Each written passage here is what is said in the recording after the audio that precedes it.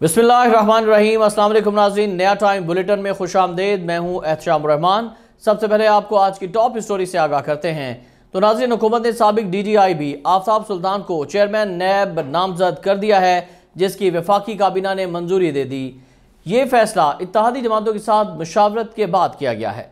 आफ्ताब सुल्तान कौन है और उनकी तकर्री से आने वाले दिनों में क्या असरात होंगे, ये बताएँगे आपको बुलेटिन के आखिर में। पहले आज की हेडलाइंस। वज़ीर अला पंजाब कौन? फैसला कल होगा। पंजाब में जोड़ तोड़ उरूज पर। अपोजिशन और हुकूमत अपना अपना कायद अमान मुंतब कराने के लिए मुतहरिक। दोनों जानब से नंबर पूरे करने के दावे। हुकूमती और अपोजिशन अरकान लाहौर के अलग अलग होटल में मुकीम हैं। तहरीक इंसाफ के सात अरकान रबते में चले गए। पार्टी जराये ने तस्दीक कर दी। मसूद मजीद के बाद एक खातून एम पी ए से भी रबता मुनकता हो गया। पार्लिमानी इजलास में एक सौ अट्ठासी में से एक सौ पिछहत्तर अरकान की शिरकत। इलेक्शन कमीशन ने पी पी सात रावलपिंडी में पी टी आई के उम्मीदवार शबीर आवान की दोबारा गिनती की दरख्वास्त को मुस्तरद कर दिया। Chief election commissioner Sikandar Sultan Raja की सरबराही में पाँच रुकनी बेंच ने दरख्वास्त पर समात की। इलेक्शन कमीशन में आपकी जानब से कोई दरख्वास्त दायर नहीं की गई। चीफ इलेक्शन कमिश्नर की गुफ्तु को शबीर आवान की दोबारा गिनती दरख्वास्त मुस्तरद करते हुए दरख्वास्त निपटा दी गई। मुहर्रमुल हराम और ख़राब मौसम, इलेक्शन कमीशन ने सिंध के बल्दियाती इंतबात का दूसरा मरहला मुलतवी कर दिया। दूसरे मरहले के बल्दियाती इंतबात अब अट्ठाईस अगस्त को मुनद होंगे। एन ए दो सौ पैंतालीस कराची का जमीनी इलेक्शन भी मुलतवी। फैसला सूबाई इलेक्शन कमिश्नर और चीफ सेक्रेटरी सिंध की रिपोर्ट पर किया गया। पी टी आई ने बल्दियाती इलेक्शन मुलतवी करने का फैसला मुस्तरद कर दिया। वजी अजम शहबाज शरीफ ने मुल्क की मुआशी सूरत हाल पर आज हंगामी इजलास तलब कर लिया। मुआशी टीम और मीशत से मुतालिक आला हुकाम शरीक होंगे।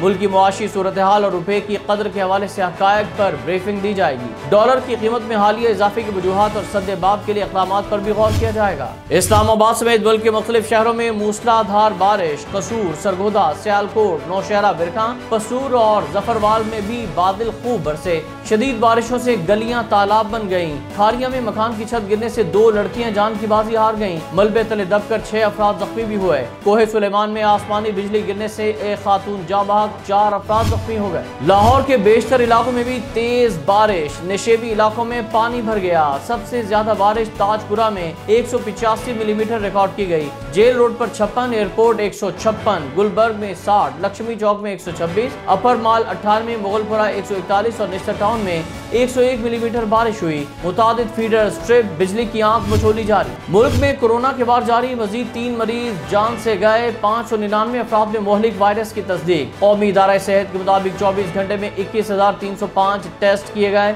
मुस्बत केसेज की शरह दो आशारिया आठ एक फ़ीसद रही, एक सौ सत्तर मरीजों की हालत तशवीशनाक। यूरोप में गर्मी की शिद्दत में मुसलसल इजाफा। स्पेन और पुर्तगाल में भी गर्मी से हलाक अफराद की तादाद सत्रह सौ से बढ़ गई। फ्रांस, स्पेन, पुर्तगाल और जर्मनी के जंगलात में लगी आग बेकाबू हो गई।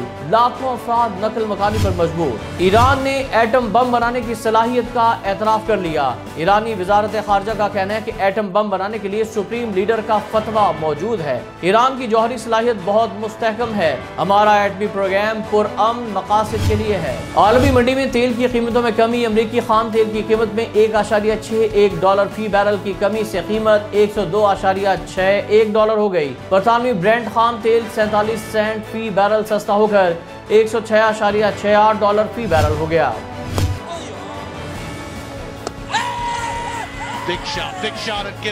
आईसीसी वर्ल्ड टेस्ट चैंपियनशिप में पाकिस्तान ने श्रीलंका से तीसरी पोजीशन छीन ली। श्रीलंका से गोल्ड टेस्ट जीतने के बाद कौमी टीम तीसरी पोजीशन पर पहुँच गई। ICC world test championship standing में जनूबी अफ्रीका सर फहरिस्त है। ऑस्ट्रेलिया दूसरे भारत चौथे। और वेस्ट इंडीज पाँचवें नंबर पर है। और माहिरा खान ने अपने आइटम नंबर सॉन्ग को नामुनासिब करार दे दिया। फ़िल्म कायद आज़म जिंदाबाद के लिए फिल्माया गया। गाना समझ से बाहर है। अदाकारा का इंटरव्यू में इंकशाफ नाजिन हेडलाइंस आपने जानी, अब बात करते हैं आज की टॉप स्टोरी से मुतालिक। तो आपको खबर दें कि बिल आखिर चेयरमैन नैब की तकर्री हुकूमत ने कर दी है। तहरीक इंसाफ के दौरे हुकूमत में पी डी एम की जानब से सबक चेयरमैन नैब जावेद इकबाल को बहुत तनकीद का निशाना बनाया जाता था। इतिहादी हुकूमत बरसर इकतदार आई तो उनके अहदे में तोसी की बजाय उन्हें खुदा हाफिज कह दिया है। अब सबक डी जी आई भी आफ्ताब सुल्तान को चेयरमैन नैब लगा दिया गया है। इस बारे में मजीद बात करते हैं एडिटर नया टाइम जनाब मलिक अरशद आसिम साहब से। मलिक साहब, बहुत शुक्रिया आपके कीमती वक्त फरमाइएगा कि नए चेयरमैन नैब आफ्ताब सुल्तान साहब का क्या बैकग्राउंड है और हुकूमत ने उनकी तकर्री के मौके पर और किन नामों पर गौर किया था? आज बिलाखर चेयरमैन नैब का तकर जो है वो हो चुका है। और फाकी कबीना ने आफ्ताब सुल्तान के नाम की मंजूरी दी है। आफ्ताब सुल्तान के अगर बैकग्राउंड की हम बात करते हैं तो ये इनका ताल्लुक फैसलाबाद से है।